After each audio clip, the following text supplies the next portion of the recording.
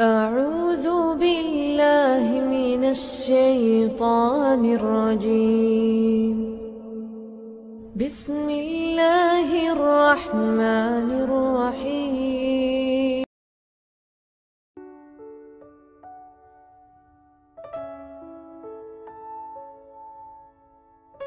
Ibu dan ayah, mereka adalah sosok yang luar biasa dalam kehidupan kita.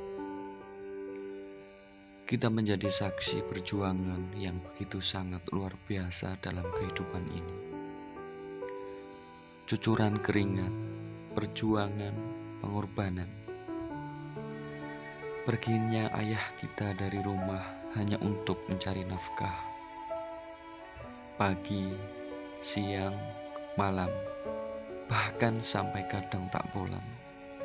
Ternyata semuanya itu dilakukan hanya untuk kita. Lalu bagaimana dengan ibu? Tidak pernah dihiraukan dari rasa sakit yang beliau derita. Apalagi di saat di dalam kandungannya. Sembilan bulan kita berada dalam perut ibu saat-saat yang menegangkan saat kita dilahirkan. Itu adalah saat yang paling berat yang dirasakan oleh ibu kita. Yang ada dalam pikirannya hanya bagaimana agar kita bisa keluar dengan selamat untuk menatap dunia. Maka, apa yang pantas untuk kita persembahkan untuk mereka berdua? seraya kita mengangkat tangan bermunajat kepada Allah Sang Maha Pencipta untuk ayah dan bunda. Wahai Allah yang Maha Mencipta, yang Rahman, yang Rahim, Engkau pasti mendengar. Ya Rob, Engkau pasti mengetahui apa yang aku rasa. Ya Allah, selamatkanlah mereka berdua. Sayangilah mereka, panjangkan umur mereka. Kami hanya bisa memohon kepadamu, ya Allah. Panjangkan umur mereka, berkailah umur mereka, agar mereka bisa taat beribadah kepadamu. Jangan kau susahkan mereka dalam kehidupan ini, karena mereka sudah susah mengasuh kami dan membesarkan kami. Jangan biarkan hati mereka terluka, bahkan air mata. Ya Allah, Ya Rahman, Ya Rahim, untuk mereka, ayah dan bunda.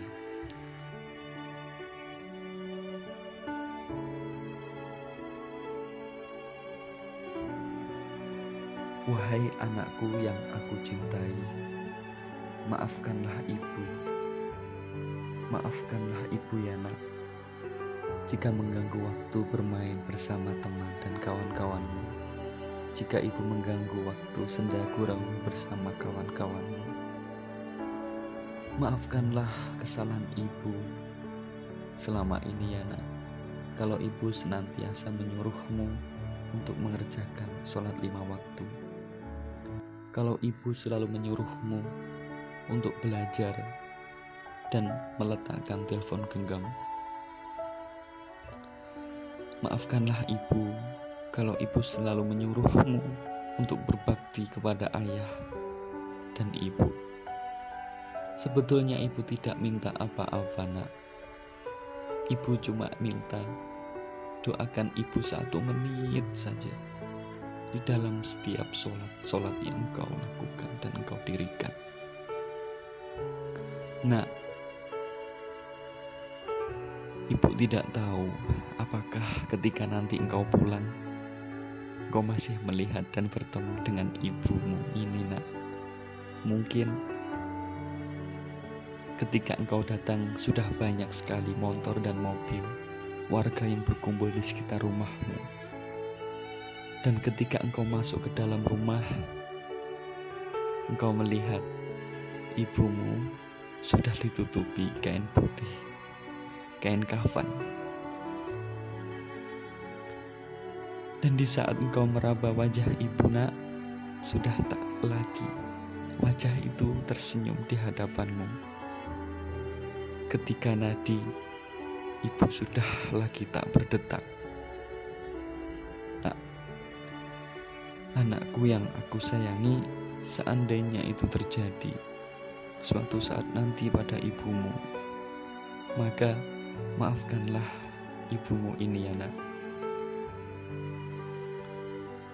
Jikalau waktu kecil ibu sering memarahimu, terus terang nak, itu adalah bukti bahwa ibu sayang, bahwa ibu perhatian kepadamu.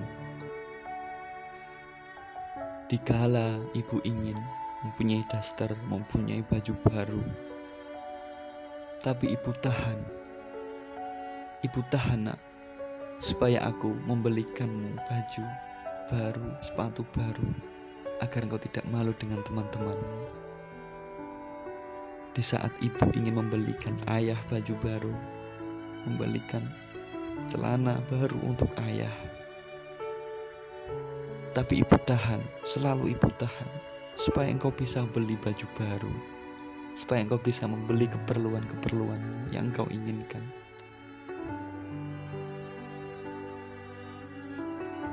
Nah, seandainya ibu tidak bisa menemuimu lagi, ibu titip ayahmu ya nak, ayahmu, temani dia, gantikan ibu untuk memasakkan masakan kesukaan ayahmu.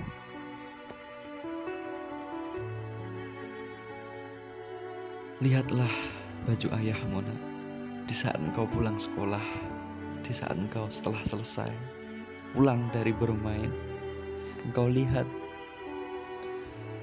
telah basah kain yang dikenakan ayahmu dengan keringat pengorbanan hanya untuk membesarkan dan menyekolahkanmu nak. Temanilah ayahmu, berbaktilah kepadanya, karena dialah satu-satunya kunci surga yang bisa engkau masuki nanti. Sekali lagi, maafkan ibu. Maafkan ibu, nak. Maafkan ibu yang lemah dan doif ini, yang kadang tidak bisa menuruti semua keinginanmu. Satu hal yang harus kau ketahui, nak, di balik kata-kata ibu ini, ibu selalu mencintaimu dan ibu selalu bangun malam untuk mendoakan kesuksesan untukmu, nak ibu juga kangen kepadamu. Apakah engkau akan bisa melihat wajah ibumu lagi? Iya, lambaian tangan ibu saat itu, pelukan ibu saat itu kepadamu masih terasa sampai saat ini. Kemudian engkau pun bersimpuh di kaki ibumu yang mulia itu, lalu engkau berkata, "Ibu, aku ingin membahagiakanmu. Robbi kefirli wali walidayya warhamhuma kama robbayani soghiro. Ya Tuhanku, ampunilah, maafkanlah dosa hamba. Maafkanlah dosa orang tua hamba.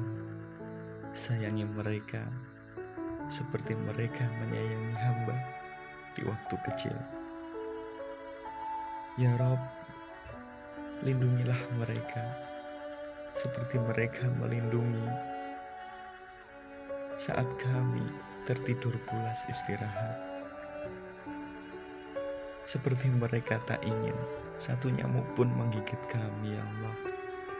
Sayangi mereka seperti mereka sayang, setia, menemani saat kami sakit, menunggui di rumah sakit. Sayangi mereka ya Rob, saat mereka sayang dan mewujudkan cintanya, sampai mereka mengantarkan kami di pondok, mengantarkan kami daftar di pondok ini, mendidik kami dengan pendidikan pesantren, dan di akhirat karena dengan doa itu nanti ya Allah yang menjadi wasilah amal jariah di alam barzah sampai di hari pembalasanmu nanti ya Rob. Kumpulkanlah kami nanti di surga bersama keluarga kami. Lindungilah kami Allah, lindungilah ya Allah. Di saat hari di mana tidak ada lagi perlindungan selain perlindunganmu ya Rob.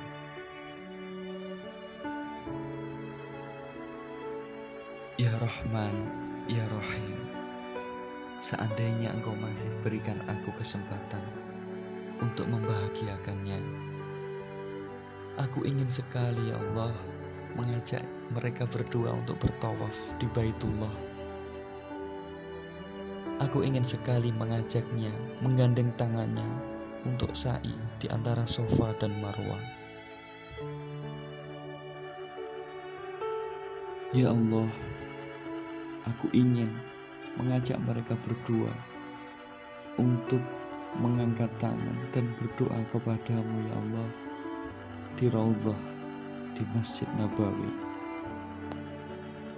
dengan uang hasil kesuksesanku di hari nanti. Ya Allah, aku ingin sekali suatu hari nanti memberi hadiah ulang tahun buat ibu dan bapakku. Meskipun hanya dengan hafalan hafalan ayat suci supaya mereka tambah sayang kepadaku dan selalu mendoakanku untuk kebaikan dan masa depan. Ya Allah, Engkaulah yang maha mengetahui segala isi hati. Sampaikanlah rasa ini kepada orang tua